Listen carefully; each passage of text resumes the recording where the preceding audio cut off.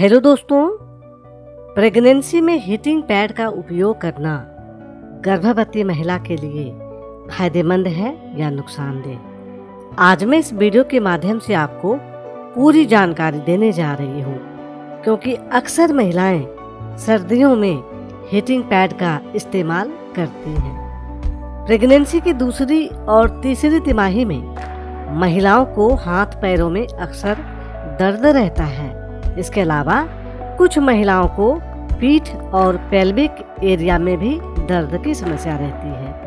दरअसल, गर्भावस्था की दूसरी तिमाही में भ्रूण का आकार तेज़ी से बढ़ रहा होता है, जिसकी वजह से महिलाओं के पेट पर दबाव पड़ता है। इस समस्या को कम करने के लिए महिलाओं को हॉट टब बाथ लेने की सलाह दी जाती है, जबकि कुछ महिलाएँ इस समय पीठ के निचले हिस्से में होने वाले दर्द को कम करने के लिए हीटिंग पैड का इस्तेमाल करती हैं। गर्म पानी से पीठ की सिकाई करने से महिलाओं को दर्द में आराम मिलता है। लेकिन कई बार महिलाओं के मन में यह प्रश्न उठता है कि क्या हीटिंग पैड इस समय इस्तेमाल करना सुरक्षित है या भी नहीं? तो आज मैं इस वीडियो के माध्यम से आपको पूरी जानकारी देने जा रही हूँ। हीट थेरेपी का उपयोग पीठ दर्द, मांसपेशियों में दर्द और जोड़ों के अकड़न को कम करने के लिए किया जाता है।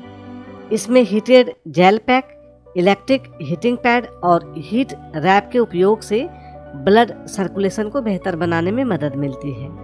साथ ही इससे डैमेज टिश्यू का रिपेयर किया जाता है। प्रेगनेंसी में मांसपेशियों और पेल्विक एरिया में होने वाले दर्द को दूर करने के लिए महिलाएँ पीठ और कूल्हे पर दबाव महसूस करती हैं। इस लिगामेंट पेन को दूर करने के लिए हीटिंग पैड का उपयोग किया जाता है और दर्द से आराम मिलता है। प्रेगनेंसी में अधिकतर महिलाएँ दर्द को कम करने के लिए हीटिंग पैड का उपयोग करती हैं। हीटिंग पैड का इस्तेमाल पीठ या कूल्हे के जोड़ों पर किया जाता है। पर ध्यान रखना है दोस्तों, इसका उपयोग सीधे पेट पे नहीं करना चाहिए। हीटिंग पैड से आपके बच्चे को किसी तरह की परेशानी नहीं होती, लेकिन फिर भी डॉक्टर इस समय महिलाओं को कुछ विशेष सावधानियाँ बरतने की सलाह दी जाती है। हीटिंग पैड का इस्तेमाल करते समय ध्यान दें कि पैड ज़्यादा गर्म नहीं हो। हीटिंग पैड को सीधे त्वचा पर ना लगाएँ। हीटिंग पैड को कपड़े या तौलिए से रैप करके ही पीठ या कूल्हों की मांसपेशियों की सिकाई करें। इसका उपयोग एक बार में 20 मिनट से ज़्यादा आपको नहीं करने चाहिए। हीटिंग पैड का इस्तेमाल पेट के निचले हिस्से पर न करें। इससे अन्य समस्याएँ होने की संभावना हो जाएगी।